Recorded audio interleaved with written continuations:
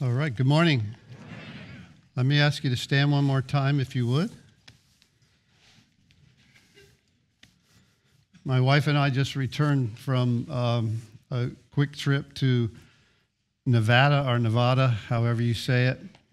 Our daughter lives there. We are visiting her and three of our grandkids. And uh, I don't know if you've ever been to Fallon, Nevada, but I encourage you not to go. It's just a little bitty town with some tiny little uh, stores and but we went to Reno, and one of the cool things in Reno was uh, this antique car museum.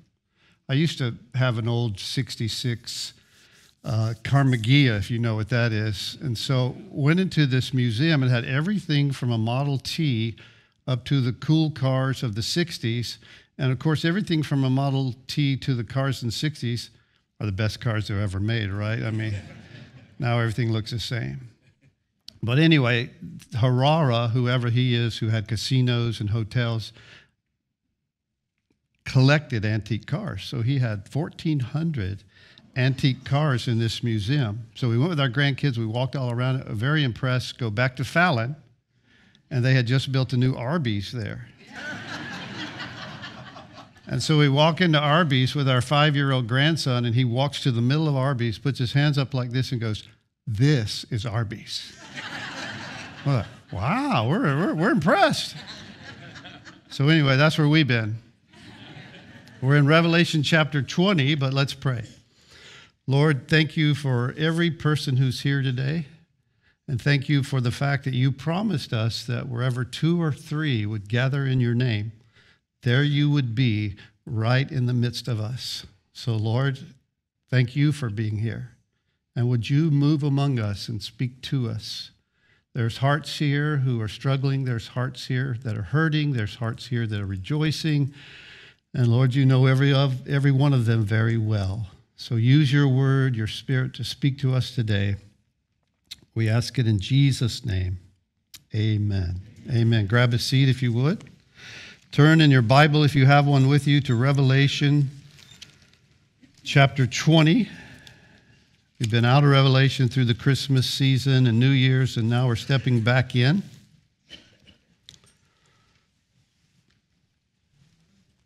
Revelation chapter 20.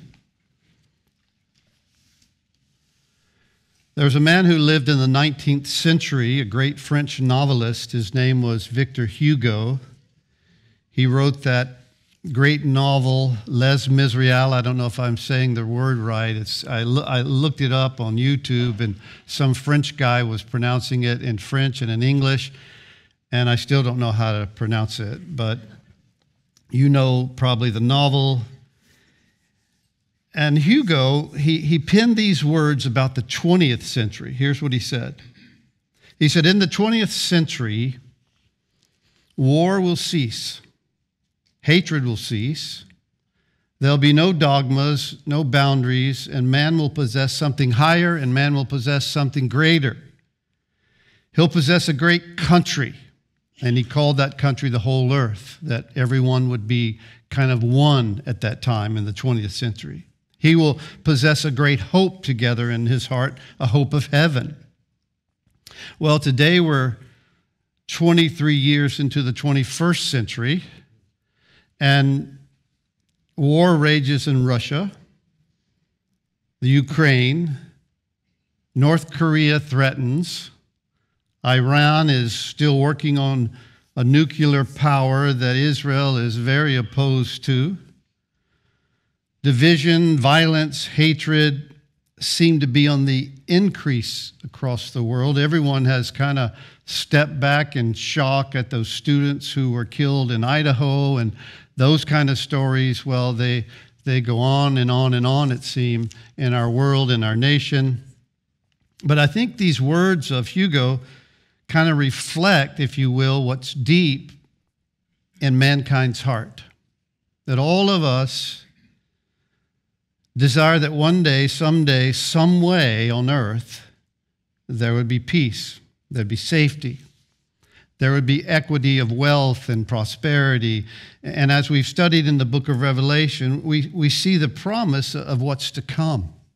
Here in chapter 20, as the Lord has returned in a mighty way in 19, in chapter 19, we, we find these verses. In the first three, it says, I saw an angel coming down from heaven. This would be John, the apostle, who wrote this book as he was there, isolated on the island of Patmos. He says, I, I, saw an angel coming down from heaven, having the key to the bottomless pit and a great chain in his hand. He laid hold of the dragon, that serpent of old, who is the devil and Satan, and bound him for a thousand years. And he cast him into the bottomless pit and shut him up and set a seal on him so he should deceive the nations no more till the thousand years were finished. But after these things, he must be released for a little while. In these verses, you, you see this term thousand years. It appears six times in the, this chapter 20. It speaks of a time that is known as the millennium the millennium of peace that will come upon the earth. And as we enter this topic, the, the subject of the millennium, a, a thousand year reign of Christ, I, I want to make a few uh, qualifying statements if I can. There are several theological positions about this passage, about this period of time. There's one called postmillennialism, there's premillennialism, there's amillennialism, and the millennial reign is, is, is an obvious biblical subject. There's, there's three theological kind of stances, if you will. But I would call this subject not an essential or foundational doctrine of Christian faith. So, so stay with me, listen. There are some essentials or some foundational, non negotiable kind of foundations of our faith like the Trinity, the deity of Christ, the virgin birth, the resurrection, the substitutionary death of Jesus on the cross. Those are like foundational parts of our faith that are non negotiable. But, but the subject of this millennial reign, I think there's room for discussion and disagreement without undermining or separating people from the Christian fellowship. Would you agree with that? The bottom line is this Christ is coming back to rule and reign, but, but how the details fall into place continue to be debated and challenged. And you've got these three different viewpoints amillennialism, that the thousand year kingdom, this is what that group believes, is symbolic. It represents the church here on earth. It's not a literal reigning of Christ, it's a spiritual thing, not a material thing. So that's one view. There's postmillennial. They believe Christ returns after the thousand years, and that the church will usher in the thousand years through, through preaching, through evangelism, through Christian politics, and that much of the world will be saved, making the world almost completely Christian. And the world gets better and better and better until Jesus returns. Good luck with that one. Uh, premillennial, Jesus Christ will return. Just before the thousand years beginning, Christ literally returns to earth at the end of the tribulation period and will rule and reign on earth for a thousand years. Then I saw an angel, verse 1, coming down from heaven, having a key to the bottomless pit and a great chain in his hand. And he laid hold of the dragon, the serpent of old, who is the devil, Satan, and bound him for a thousand years. The first thing we see in this chapter is the removal and binding of Satan. And he uses several terms for him Satan, dragon, serpent, the devil. And, and it's implying here no more unrighteousness on earth, no more denial of God or cursing his name. No more war or murder or sickness or disease or pain or suffering. Here, Scripture describes the enemy with these names. The first one is dragon, a spiritual power that's fiery and cruel and brutal and stirs up passions and, and in, in people's hearts and in governments, and gangs, causes them to act like beasts, monsters to destroy people's lives. He's a dragon. The, the old serpent, a spiritual power to deceive, to seduce, and lead people to disobey, ignore, and neglect God and his truth. In 2 Corinthians chapter 11, it says, No wonder, for Satan himself transforms himself to an angel of light. Therefore, it is no great thing if his ministers also transform themselves into ministers of righteousness, whose end will be according to their works. He, he, he's deceptive. And in Genesis, I'll, I'll read this, this verse for you. I'm sure you're very familiar with it. In Genesis chapter 3, at the very beginning, it says, uh, The serpent, there's that name that's used for Satan, was more cunning than any uh, other beast of the field which the Lord God had made. And he said to the woman, he begins this, this questioning of God's truth and his character. And he says, Has God indeed said, you shall not eat of every tree of the garden. And the woman said, Well, there's one. And he, and he says, But the fruit in the midst of the garden, God has said, You shall not eat. And then the serpent said, Oh, oh, no, no, you'll not die. And so you've got this picture of a deceiver. You've got this fiery dragon. You've also got the word the devil a spiritual power that slanders and lies and murders by leading people to lie and murder and slander. In John chapter 8, verse 44, it mentions this You are the father, you are of your father. There's this word, the devil, and the desires of your father you want to do. And then it describes who the devil is. He was a murderer from the beginning and does not stand in the truth because there's no truth in him. When he speaks a lie, he speaks from his own resources for he's a liar and the father of it. Has the enemy ever lied to you? And then there's the word Satan, the one who accuses or opposes and condemns in Revelation chapter 12, verse 10. We, we saw that verse. Then I heard a loud voice Now salvation, strength, and the kingdom of our God, and the powers for the accuser of our brethren, who has accused them before our God day and night has been cast down. Now, the removal of Satan or the devil or the serpent or the dragon here in chapter 20 is, is very obvious there. In verse 3, it cast him into the bottomless pit, shut him up, and set a seal on him so he should deceive the nations no more. To keep him from deceiving. That's what he's done since the garden as God said. That's what he did to create the fall, questioning God and, and having you or, or, or mankind question God's character, question God's truth. And, and, very, you know, from the very beginning since the garden, he has done that. He, he's, he's seduced, he's lied, he's deceived. And he deceives with all kinds of things. He deceives with lust, he deceives people with drugs and power and greed.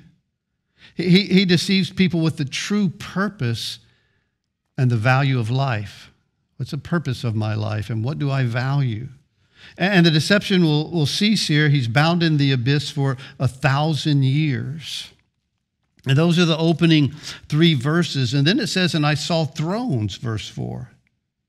And they sat on them, and judgment was committed to them. And I saw the souls of those who had been beheaded for their witnesses to Jesus and for the word of God, who did not worship the beast or his image, had not received the mark on their foreheads or on their hands. And they lived and reigned with Christ for a thousand years. But the rest of the dead did not live again until the thousand years were finished. This was the first resurrection. Blessed and holy is he who first resurrection.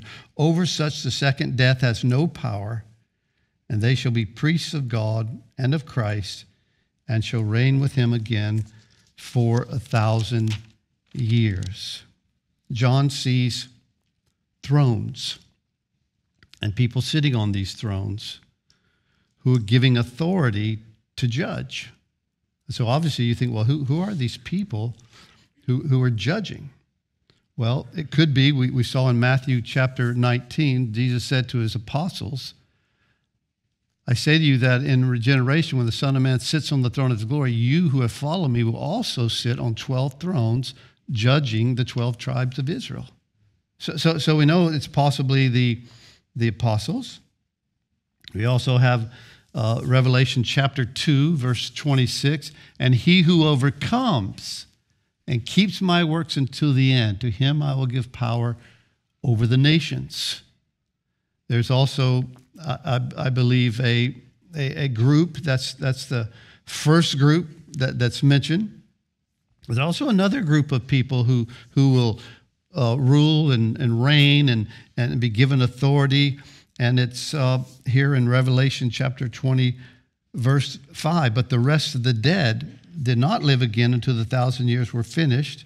But he talks about those who, who were beheaded, who had not worshiped the beast, and that lived and reigned with Christ for a thousand years, the martyrs of the, the tribulation. And then there's a third group mentioned in these passages here and it's the unbelieving dead. Not that they'll reign and rule, but they will appear before the great white throne, and those who reign with Christ are of the first resurrection during this chapter. So the groups reigning, the groups judging, the martyrs, the apostles, and then these unbelieving who are still in the graves. The others have been resurrected. And, and Satan's incarcerated. There's no evil on the earth. And we can all together at that time sing with Louis Armstrong, What a wonderful world. What a, no, I'm not going to go there. what a wonderful world. There's, there's peace. There's no war. I, I want to read a, a few passages from the great prophet Isaiah, who talks about this time over and over again when there'll be peace, when there'll be great uh, ruler and leadership of the Lord.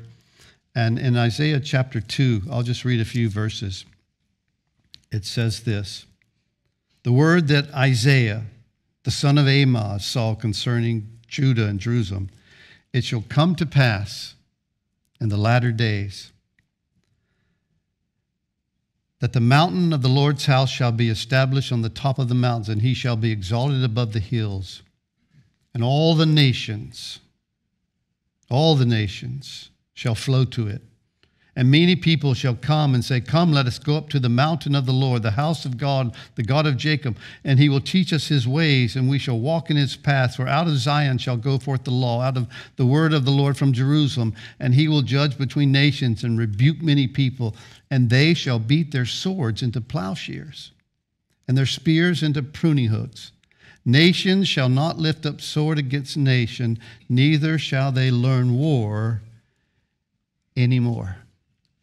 There'll come a time on earth during this millennial reign where there'll be no war, it'll be peace. You know, today there's peace marches, there's peace demonstrations, there's the, if you're from the 60s, there's the peace sign, there's Nobel Peace Prizes, there's peace treaties, but the only thing that's really missing is peace. We've got all these things, but no peace.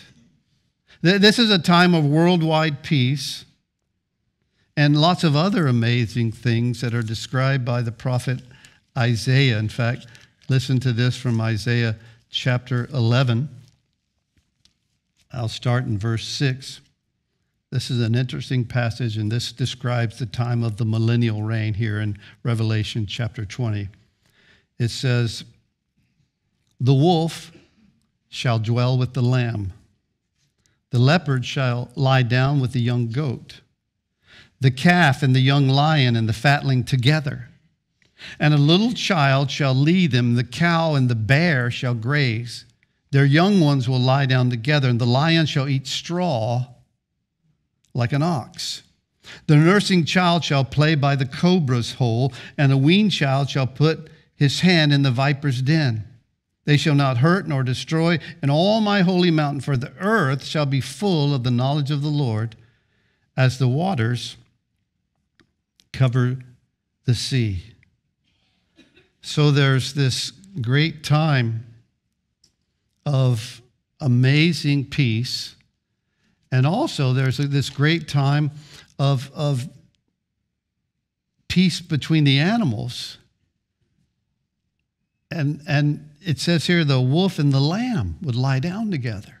Today, if a wolf and the lamb lie down together, the wolf would get up. But I'm not so sure the lamb would be getting up. There's the leopard and the goat. A, a children playing with snakes and they don't hurt them. Didn't say anything about the child not hurting the snake because children can get pretty rough. But there's this time of, of amazing peace, even in the animal domain. I don't know how many, how many of you have ever heard of the, the bird, the emu? I've got a picture of an emu here. It's not an ostrich, it's an emu. And they're predominantly in Australia and they're, they're huge. They're, they're the second largest bird on the planet next to the ostrich. And one time I was, I was in Australia. I was with a, a friend named Ricky Ryan. I think a guy named Britt Merrick was with us, and, and a friend of mine, Ray Bentley, who passed away uh, last year. Uh, I had the privilege of doing his funeral, great friend from San Diego. And we were all in Australia doing a conference on the Gold Coast. And we went to a little petting zoo in Australia where they had little kangaroos. I don't know why I'm doing that, but little, little kangaroos were bouncing around, and you could pet them. You could pet these kangaroos. And, and there, there, was, there was an emu, emus there, koala bears, and, and Ray had just had some shoulder surgery, and he had on, he had to wear sometimes during the day this little thing on his arm to keep a sling to keep his arm from hurting. And so we're walking around, we're petting these, and this emu, for some reason, saw Ray.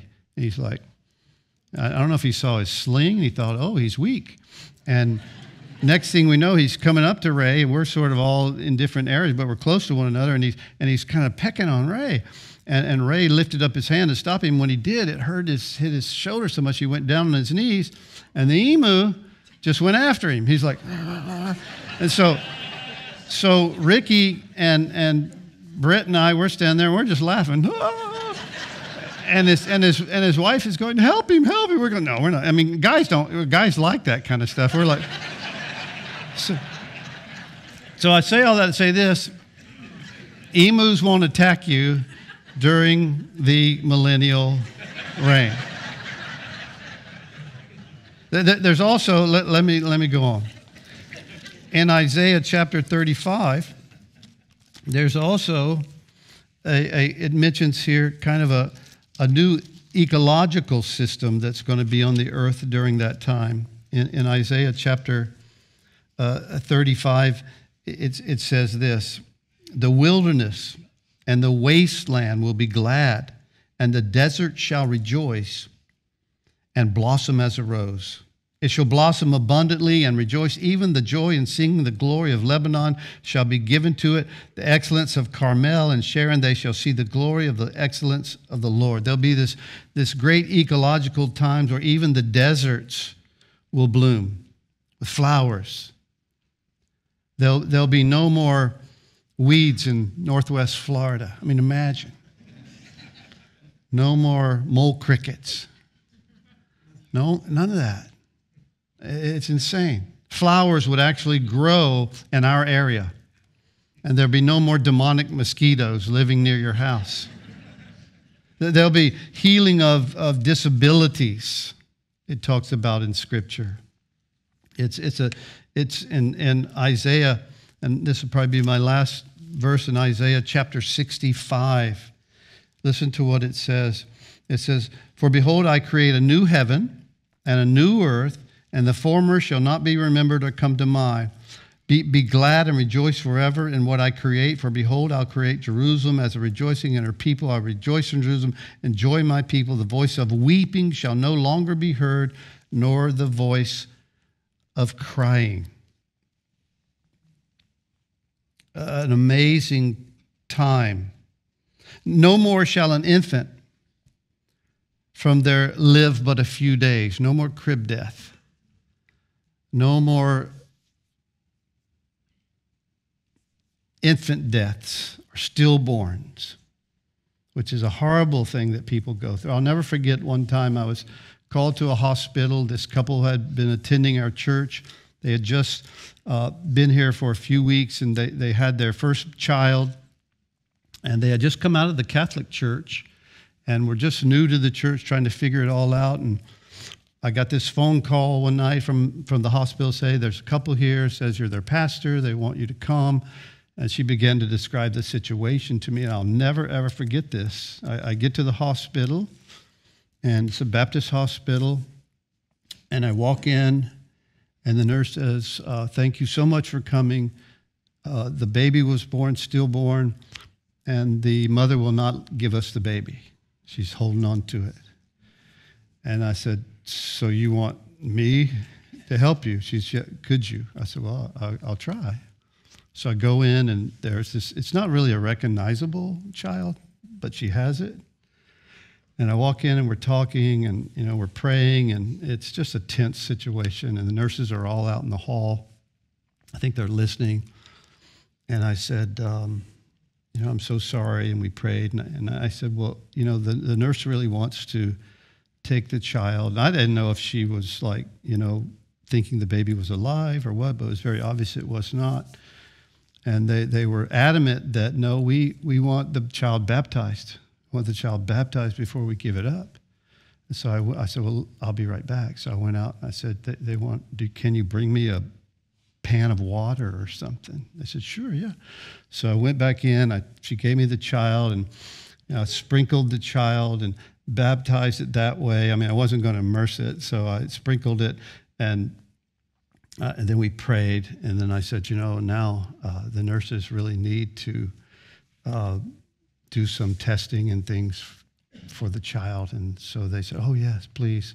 And so off, off they went. But th- there'll never be that kind of experience again in, in the millennial reign. No, no child, it says here, no more shall an infant from there live but a few days. Then it says this, nor an old man who has not fulfilled his days, for the child shall die 100 years old. So if you're 100 years old, it'd be like a child dying. How cool is that? Say, how old were you? How old are you? I'm, I'm about 100. Oh, you're like a kid. That, that's what it's basically saying. You say, well, John, why the millennial reign? Why this thousand years? I mean, why not just go straight to heaven? You know, like Monopoly, don't collect 200, you know, just go straight there. Why, why not that? What, what, what's going on with this? Well, there's a couple of things I think that make biblical sense here. One is that God redeems creation from the curse since the garden.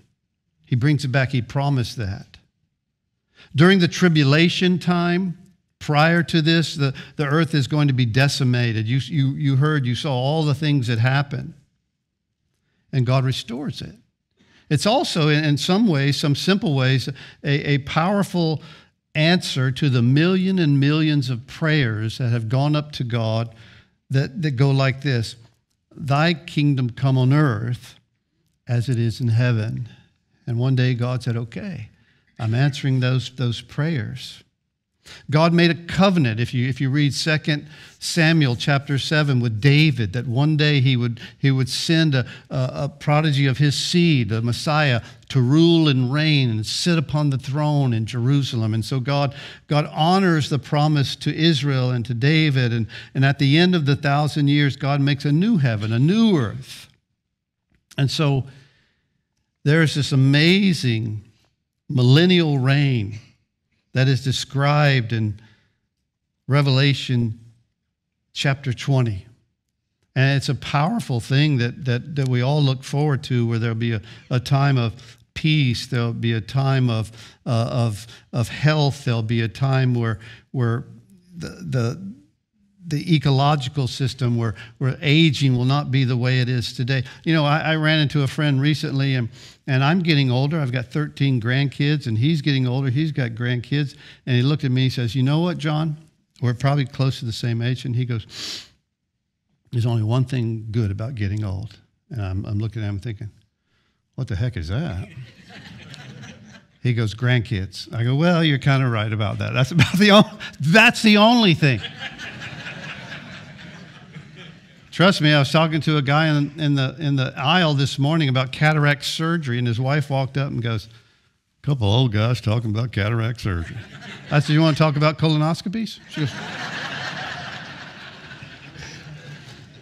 Anyway, I, am digressing pretty far. There'll be, there'll be none of those. God made a covenant with Israel, and, and God will restore the earth. It'll be a marvelous time. And I want to just close with a, with a couple of questions. One for, for those who claim to follow Christ and, and then, secondly, a question for those perhaps who, who never have, or who, who are struggling, or, or, or who's honest and says, you know, I have spiritual thoughts, I'm a good person, but I really don't follow Jesus. I want to ask a question to those two groups. My first question would be to those who follow Jesus. And the question would be this What is your relationship like with the Lord? What is your, your following all about? When, when Jesus gave his longest sermon, maybe his most poignant sermon of all, which we would call the Sermon on the Mount, he, he kind of made this statement. He said, Most people make everything about themselves, and this is a paraphrase. Most people make everything about themselves. They worry about self all the time. They seek their own pleasure, their own kingdom, and so, so, so he said, You seek the kingdom of God and his righteousness, and all these will be added to you. So, so the question is is it all about you? Is it all about your stuff, your money, your trips, your kingdom? Or is he king? Is he Lord? Is he the one that you're waiting for and realize that, that everything that we, we, we touch and pass through in this life is very temporal? So, so, so the question to those of us here who are following Jesus, and this is a question I'm asking myself is it his kingdom? Is he king and Lord, or, are you? Yeah, that's something to think about. That's something to, to, to pray about. And, and then the question to those who perhaps don't know for sure if they're a Christian or not following Jesus, uh, I first would say he wants a relationship with you. He wants to be your Savior, your Lord, and eventually join him on an earthly kingdom and a heavenly one. C.S. Lewis once put it like this He said, I, find within myself a desire which no experience in this life or world seem to satisfy. The most probable explanation of it, C.S. Lewis says, is that I was made for a different world. And that God has put eternity in our hearts, a different purpose in life than just living for that which is temporal, looking for something that's more lasting. And the question is this to those who here who probably who, who may not know for sure is will you be a part of his kingdom? Will you be a part of that first resurrection? And I think that's the question the Lord would, would ask. To those who are believers, what's your relationship really like? And to those who aren't sure or who maybe have fallen away and drifted away, will you be a part of his kingdom?